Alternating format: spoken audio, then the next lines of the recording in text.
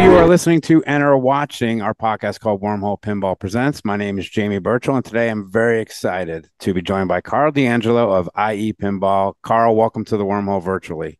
Thank you, Jamie. Appreciate the invite. How you feeling, first of all? Uh, doing well. Doing well now. Yeah. Okay, good, because I understand you. You know, you were ill during Indisc, and uh, but I also heard you managed to put in a pretty decent one card. Yeah, I got one card in on Friday, just enough to get somewhere in the mid 70s, I think, in the uh, in the end of things. But uh, yeah, that was unfortunate. Yeah. But, uh, I was thrilled to have so much help during the event. Well, we'll talk about that later. But um, Yeah. for those that don't know, Indisc stands for Never Drains in Southern California, and it's been held since what 2012. I think. Right around there. Right around there. Yeah. Have you always been involved with Indisc? Yeah, yeah. Since day one, uh, it was uh, myself and Jim. Uh, we wanted a tournament local to Southern California because at the time there weren't any big tournaments in Southern California. So there was California Extreme. We'd all travel to Northern California for the big event every year. But um, we wanted one here, so it started small and grew and grew and grew beyond our expectations. Wow. I mean, you won in 2015 and 17, right? Right. Um, Some other notable names that have won the Open include uh, Escher Lefkoff, Zach McCarthy, now twice, uh, and Keith Elwin won a few, uh, Mhm. just to name a few people. Uh, when was it a major? When w- was it always considered a major? No, it was once we were at the um, Riverside Convention Center, right? Uh, three years ago. So Zach McCarthy was the first one that won the the Open itself, Okay. I believe. I'm pretty sure. No, no worries. Yeah, yeah, but but yeah. So so so the last three years, I believe, uh, the yeah, Zach McCarthy after Escher Lefkoff and Zach McCarthy again. So they've won the majors. And what are the other majors for those that don't know? Uh, we have the IFPA World Championships. We have the uh, European Pinball Championships, the EPC. We have Pinburg now coming back this year, Coming back, right? and then the uh, the uh, defunct one uh, is Papa, the Papa World Championships. Okay. Uh, so this year you were really unable to produce because you weren't feeling well, but I understand Jordan and Rebecca Fliptronic and the Pluto from Twitch Right. Helped you tremendously. Yeah, absolutely. Uh, without their help, there wouldn't have been a stream this year. Um, It was amazing. phenomenal. They did they did fantastic. I couldn't have asked for for uh, anyone better to be helping out. yeah. Were you stressed watching them or were you stressed for them or Uh, I was a little stressed for them, a little stressed watching. Uh, there was one moment where Jordan panicked a bit because um, someone uh, on the telestrator held their finger down, which then wiped out the entire screen, and it's the projector screen in OBS. So he didn't know how to get it back. So furiously texting with him and got on a video call finally and got it taken care of. But uh, outside of that, everything went pretty smoothly, I'd say. yeah, I, I'd say, I mean, it was an amazing production. Uh, you had what, 15,000 viewers at one point on Twitch. Yeah, I mean, yeah, that that's just incredible. It's it's it's insane, and that's all thanks to uh, to Pluto, you know, getting us on the front page. Well, it, it was also really a phenomenal production. And, you know, Zach McCarthy winning the Open again and Dalton, Eli winning high stakes was just amazing viewing. I mean, I was up till two in the morning and it was just amazing pinball. So, congratulations on another great stream there. Thank you. Thank you. Uh, let's shift for a few moments. You're currently ranked 30th in the pro ranking and 36th in the open ranking. I have no idea what a pro ranking is. Can you kind of tell me what the difference is? Uh, the pro rankings are the top 250 players are weighted on a different scale. It takes into it takes your effective percentage, effective something into into account. So, and it's um, it basically just changes how it's calculated. Uh, to be honest, I haven't been following too much of the IPA stuff. I mean, I watch it, but it's gotten to the point that I don't. I'm not actively watching my own ranking and how to improve it, especially with the pro rankings, because it's a different calculation than the main. But I know, I know, I did because I didn't play in Indisc or where I got, I actually dropped quite a bit. Other people, you know, bumped up. There were so many points available at Indisc. Oh yeah. I'm so, the, my reason for my question is I I don't have a pro ranking, and I was just wondering, you know, what the heck that was. And since I'm 2000th in the world in in IFPA, I think it's going to be a really long time before I get that pro ranking. So, uh, my question, another question, going back to pinball uh, skill set. Did you have like an aha moment when you first started playing, where you said, you know what, I'm pretty good at this? Um, I've always, I mean, as a kid, I always played. I just didn't know about tournaments. So I remember, you know, riding my bike down to the local pizza joint, playing Addams Family, touring the mansion, um, you know, doing that kind of stuff on all the games I would play. But I had no idea if it was a if I was good or not at the time. And then going to tournaments, uh, I won the first league season I was ever in at the Orange County Pinball League. Um, and that's kind of when I went, okay, maybe I am good at this, and yeah. I should start traveling and trying for stuff you know, and I put a the IFPA World Championships that were in uh, Bainbridge Island at Tom McCulloch's house. That was the first time I really said, okay, I'm going to be serious. I'm going to work this year and try to get into that World Championship, and I and I was able to. And I took sixth or seventh there, I think it was, for my first IFPA Worlds, which which was phenomenal, and yeah. you know that kicked things off really. One of the things I watch you know, when I'm watching these competitive pinball is how patient they are. I saw this at Indisc. We saw it this week. We streamed uh, the Texas State Championships. They tend, you guys tend not to flip unnecessarily. And you, the biggest thing is you go for like this bang for your buck. What if it's too risky? Not going to do it. I mean, do you find the patience is a key for some amateur players for them to get going? Oh, absolutely. It's about planning your shots out and planning, you know, having just a game plan in general when you're when you're playing. Uh, take it easy, don't rush. Um, I like to say one of the best training formats is the it's not played much, but the heads up pinball format. I don't know if you've seen any of this where you have two games side by side and you're racing to a goal. But yeah. there's something about the format that uh, you know everyone wants to rush through it. So it kind of a you know similar to this. But if you take your time, slow down. If you're the player that's calm and relaxed, you're probably the one that's going to win that uh, that battle. And the same thing goes in uh, in regular tournament play. You just want to take your time, um, planning shots. I like to cradle up. Not everyone does. Some people play on the fly, and they play a lot better on the fly. Um, so there's you know different player styles, but I definitely find for most people, if they slow down, take the time, their uh, skill set will improve.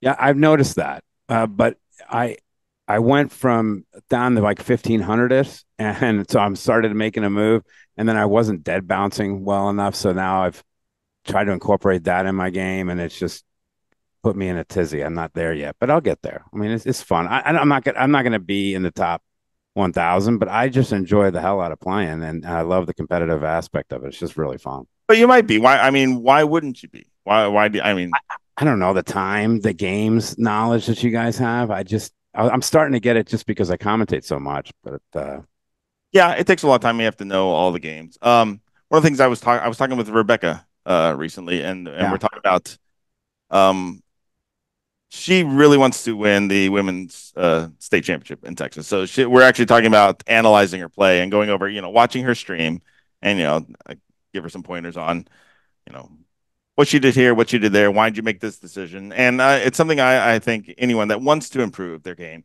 you know, go back and review your footage if you can, or record yourself playing, and watch the footage see if you you know pause you know if you see a crucial moment coming pause the video and think okay what would you do in this situation? Would you dead bounce? Would you drop catch? And see if you can predict what you did. And if you if you if you didn't then maybe in the future you will. That is phenomenal advice ladies and gentlemen. No really that's great advice. Uh you know it makes me think i went back onto your videos on demand on youtube and you've got a, a lot of them uh, and you started streaming all the way back in 2012, right? You streamed the first the first one you did. Um, you recorded it. I mean, it's been a while. Um, but you did stream 2015. You made like massive strides in production, right? I mean, you started. You, you probably went from a phone or from one camera to this production. I mean, was anyone else really streaming competitive pinball back in 2015? So yeah, there was a Papa was streaming okay. a couple things. They were, and uh, then you also had um, the Elwins, Keith and Randy were were actually taking recorded uh, video of gameplay at California Extreme when they went. They had a whole rig that they would bring and then record it for later. Um, but Papa, when they had their Kickstarter, their final goal was our tournament, and that kind of kicked off. You know, when I knew they weren't going to come the next year to stream it because they were the first ones to stream Indisc. Um, I went, okay, it's time to pick up more equipment and try and uh, you know have a production of their scale. Yeah.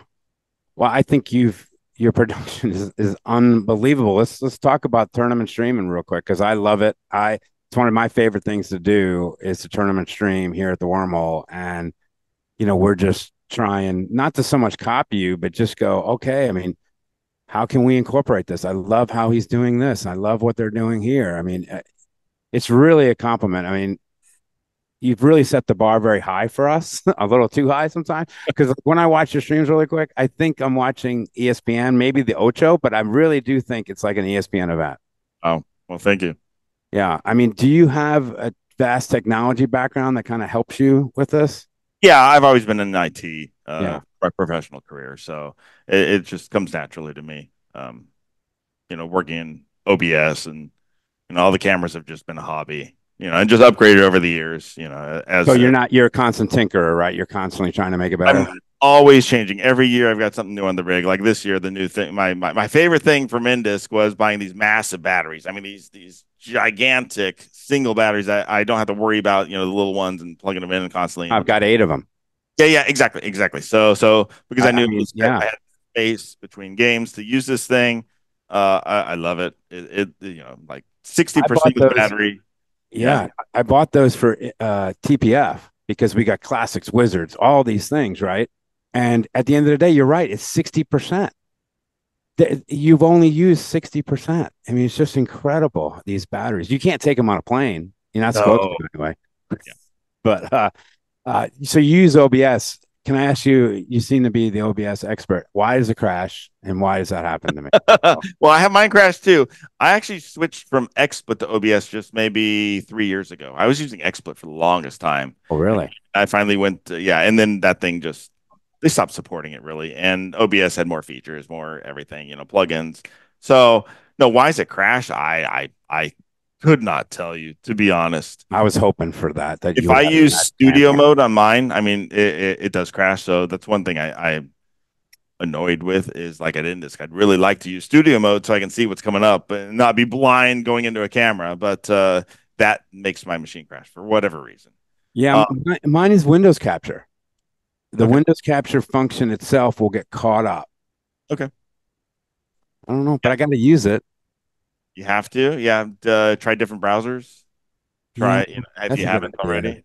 You know, normally I'm using Firefox for whenever I do a window capture instead of Chrome or Edge. I use Firefox. Okay. Well, well then that's not going to help you out. we'll Sorry. Out. No, no, no, no, no, no worries. Uh, who you don't get on air very much when you're at Indisc uh, as no. much. No, you you prefer to have a group of commentators. Yeah, it's always a group of commentators, and that's uh, Jeff Teolis that's organizing that for me. Yeah. Uh, and he does a fantastic job putting the team together. We pre-schedule it so that everyone knows when they're coming on, um, and so there's no surprises. Uh, so we are we're always ready, and he has a couple backups in case you know someone that was supposed to be in the booth is actually playing in finals. But it's uh, the last two years we've done that, and it's helped out tremendously, just with the quality of of the group and the commentating. I need to do that for TPF because it's kind of a flowing thing. Yeah, and I don't like that as much. I need I need the organization for it, and uh, it drives me bananas. And then I don't want to hurt people's feelings, right? By saying no. You know, yep. Bob Matthews has only been on for 15 minutes. You know, I don't want to hurt people's feelings, and so I need that structure. And I, we'll see if I can pull that off. I mean, on the flip side, if you if you don't if you don't do that, people tend you know there are some that will tend to stay in the booth for six or eight hours, and you don't yeah. want that it's nice to rotate out everybody and have a fresh perspective, you know, oh. around. You don't show your commentators much because you no, right. what's that philosophy? Because is uh, like ESPN doesn't show, you know. I mean, the, the the the the focus of the tournament isn't on the commentators; it's on the players. So that's right. why I, I try. I, I, I want to focus in on, on the specific people playing, and that's why we follow the same group uh, for an entire round. You want to watch that story of these four players and and how they do, how they progress. How many rigs do you have? I have two rigs, and the second rig. I mean, I've had two rigs for a while. The Indisc was the first time I'd actually tried using both at once. Um, I don't know if I'll do it again at the convention center because the Wi-Fi is just a absolute mess. They just they they are just blasting the entire room with massive amounts of 2.4 and 5 gigahertz to the point that things just drop out. It, it's it's wild. Um, but yeah, two rigs. Uh, normally at home, I, I, I use wireless, but after Indisc, I rewired things up for actually a wired connection here. So, uh, we used our first two rigs. I call it the two rig system, and uh, because I'm a dork, and uh, so I, I implemented the two rig system first time Texas State Championships. Okay, Rebecca's in here with me, and it is rocking. What we did is we did a primary group, kind of like golf, right? You've got your you know your your foursome that you want to follow. Yep. and and you know i called the other rig two pop in group. For three hours Karl? Perfect. Yep. and it all went to hell. Hmm. it all went to hell. All my other cameras on rig two all the i had a perfect rig one that was all set and i tinkered with other things for rig two and it just didn't work. So we're not that was not ready for prime time. So i just scrapped it in the semis and followed just one group. Yeah, yeah, and that's kind of what we did at the end of Indisc. I, I told them turn off that second rig because it was causing interference, and I, I wanted to make sure that primary rig was was always rock solid. Um, yeah I didn't want to. I saw you. I saw them do that, and I said, "Oh, that won't happen to me." so the, the, the the one thing I have been working on is trying to I want to I want to get a, a dedicated computer on each rig and then I only have one wireless transmitter so I basically pop everything into a local OBS on the rig itself Mm. and then I have one transmitter going back to the main station and then I could you know theoretically run up to six rigs if I'm running six wireless connections I won't have six rigs because that's a ridiculous amount Ridiculous. of equipment but the uh but the idea is that less uh, interference with Wi-Fi you know le- you're using less wireless transmitters so hopefully, I've got six be- Yeah, yeah, exactly. and I think that's my limit, or my wife will murder me if I Yeah. buy more Accsoons. I'm with you there. I mean, my God. Uh, do you prefer a three or two person booth? Uh, it depends on the tournament. The uh, the larger tournaments, I want three. On anything small, I'll take a two. Okay. Do you have official rig mover? No, it's usually me. This Yeah. this this time this year was the first time I really had help that uh, I felt I could I could count on moving the rig. I don't have because I'm on air, right? So I'm jumping ba- all back and forth, and so I like a couple of players that I know I trust as rig movers, and so you'll see me tend to follow them a little more. I don't Yep. mean it; I just trust them to put it in. Wesley, he knows that he's uh, very, very trusted. So, um, what kind of cameras do you like to choose? And I'm not going to rip everything you say off. I'm just curious. No, no, it's fine. I and it's I've always meant to get a website up with all my equipment. I just never have. It's just the time to put stuff together. Um, but I'm using all Sony ZV1s now or ZV1 Okay. Mark IIs. I have one ZV1 Mark II and everything else is ZV1s. I, I buy them used on Amazon. yeah, me too. You must be fighting with me because I bought, I'm done. I- done. No more. all right, because I only have two, and then I missed. I bought a ZV1F, and I don't like it. So No, yeah, because I, I want the I want the zoom capability. Yeah. Even though I add wide angle lenses to my ZV1s. really, Yeah. Oh, so for the you- for the player and the score, I add those, not for the playfield. That that's just stock. Playfield's fine. Player score, wide angle lens, especially the score. Yeah, that way, and I put those on a really long magic arm so that I can I can move it where I need to to get the scores. All right, that's some good information there, ladies and gentlemen, for me and nobody else. But I'm sorry about that. we had uh, Texas State champion uh, chip this weekend, and, and former champ uh, Comic Compine was sitting next to me, and he's commentating, and he goes, uh, "Do you have a tablet for me?" I said, "Dude, my name is Jamie. It is not Karl. I do not have a tablet for you. Uh, you have to point to your screen that I gave you, and I'll use Epic Pen." Uh, the the tablet system seems brilliant. It's awesome. The tablet, as in the the telestrator, The telestrator that you have Oh. for everyone. and all that is is a touchscreen monitor. That's all you need it for OBS. That's it. That's it. Yeah. So like I've got one of my this you know my mobile rig right here. This is a touchscreen that I use for when I'm streaming here at home, and then everything else I've got a you know just a Dell touchscreen, secondary monitor on my main PC, and then there's a plugin, a whiteboard plugin, written by actually a pinball community member, uh, Mike Welsh. What What do you have moving uh, forward stream wise? What do you have coming up? Uh, nothing. Well, I, I I'll be streaming Pinburg in July. I'm actually going to send all my equipment out there to do that. Apart from that, I do Wednesday nights as much as I can for my home streams, and and then Ace Gogi. Whenever we have a launch party, we'll do the heads up launch uh, finals. As a Are you going to stream the national? I mean, the internet or the what is it? This in Southern California, the Nationals or the uh, not Nationals. What is it? The one World? that yeah the the worlds. I'll I'll stream that I mean at the Jim Belcitos. Yeah, Okay, that's gonna be awesome. yeah, that should be fun. I'm I'm yeah yeah. Do you have less str- stress on your Wednesday streams than you do on the tournaments? Because I have these. We do Monday night streams, and they're very unstressful at all. It's just who cares?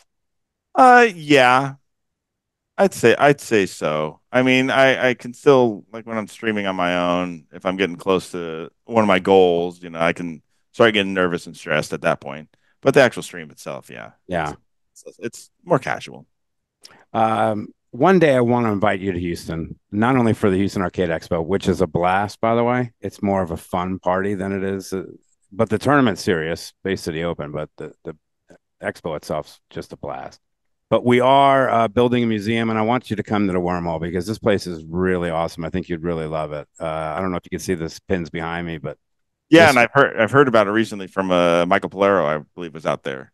Oh, what? Yeah, he I, he came in and he sent us an email and he said, "Hey, I'm going to be in town. Any chance you could be open?" And I said, "Well, it's Wednesday night, tech night. You want to come and grab a cloth?" And he, he Yeah. you know, I didn't put him to work or anything. Play as much as he wants. He's a good dude. But uh, Go to um, the Houston Arcade Expo this past year, but I, I had to cancel that trip. But yeah, one day I, I've been meaning to get to it. are you going to go to TPF this year? Uh, not this year. Not Okay. this. A lot of people aren't going to TPF. They just couldn't get it in their schedule this year. It's uh, think a lot of travel is uh, a lot of people are cutting down on travel this year. Yeah. Of course, you can contact the wormhole at wormholepinball at gmail.com. And please let us uh, follow us on Twitch and YouTube and all the social media platforms. All of your videos on demand uh, can be viewed on VODs on YouTube, right? On IE Pinball. Most of them, yeah. Uh, you have to check those out. And you already have 9,000 individuals on Twitch. Why not get to 10,000? I think you're right there uh, that are following you on Twitch. Uh, Karl, thanks again for hanging out with me tonight. I really appreciate it. I wanted to make it a, a short and sweet interview and just just hang out with you for a little bit virtually at the wormhole. And thank you for everything you've done for this hobby and sport. I uh, I really appreciate it. And I love streaming competitive pinball and I love watching you guys do it. Thank you so, so much. Oh, thank you, Jamie. I really appreciate that. No, listen, thank you so much for taking your time with me this evening. I really appreciate it. Uh, sorry I was a little nervous, but you know, you're Karl DeAngelo. You're the uh, you, you and Fox Cities and JDL are, are what we're striving to do here, right? I mean, you guys just have really set the bar very high, and, and I appreciate that because I really don't look at you anyone as competitors, right? I look at everyone Yeah. as different channels. Exactly. Exactly. Yeah, that's how I always look at it too. And I'm always, you know, helping. If you, You- if you really, really anything, are. Just send me a message. And Jim Lindsay's the same way, right? And and Fox Cities is the exact same way. Everyone in this community is so helpful and is so appreciative because one day what I really love is like a sub thing on Twitch. This is pinball competitive streaming or something. How cool would that be? Another type of category kind of thing. Another category under pinball, right? You know, pinball, competitive pinball. I, it would just be so awesome because it the, the sport is really growing. It's thanks to people like yourself and Papa and everyone who's made it happen. So well, we might know the guy. To, to, yeah, I know, but that would be awesome. you know, because I think it's growing as a sport. It doesn't have to be on the Ocho. All right. It can be really a cool thing. So, Karl, thanks for your time. I really appreciate it. Sorry for getting nervous, but we'll get through it. It's all good, Jamie. It's Thank more you. editing on Jamie's behalf. Yeah, yeah, that's not fun. Yeah. Ah, it's okay. I'm getting good at it. Right. When you screw up as much as I do. Thank you, Karl. You have a All great right, thanks, day, Jamie. and I appreciate you, sir. Thank you. Wow, that was one of the first times in an interview that I've had that I was actually really, really nervous. And uh, it's just I'm very, very appreciative of Karl and taking the time to meet with me and, and talk with me and and give his knowledge, you know, because he worked really hard. He built such a phenomenal stream, and for him to take the time to to uh, to meet with me was really appreciative. Uh, really want to thank Tim and Christine Hood for making all this possible for us, and uh, also for opening up this great place uh, for the Texas State Championship uh, for both the Open and for the Women's Championship. What a weekend we had here! We had a phenomenal weekend, and I just want to give some quick thanks to uh, everyone here. So I'm going to look over to the side, but first of all, John Spates, feel better, buddy. Okay. Uh, thanks again for all your hard work this last weekend. You were incredible. Uh, Kyle McCalpine, Phil Grimaldi, and Elizabeth Tronet for putting up the amazing state finals. They just did a phenomenal job. They really did. And all the techs that make these machines completely sing uh, Brian, Zach, Lee, Spence, Mike Flanagan, Travis Mosman, Alex, and Brandon for helping me with the two rig system. We'll get it. We'll get it down, brother. Uh, and last but not least, my beautiful wife, Janine, who not only puts up with me and puts up with this hobby, but really supports it and supports what we're doing here at the wormhole. And she is the first one here after a big tournament to come and clean the next day. And she's the best. I mean, what are you going to say about her? She's the best. Love you so much. Uh, and I'll be back next week. Uh, Wormhole Pinball Presents with Rachel Ristow of Wisconsin fame. That should be a lot of fun. Thank you guys so much uh, for listening and uh, watching. I really appreciate you. And uh, we're getting better. We're getting better.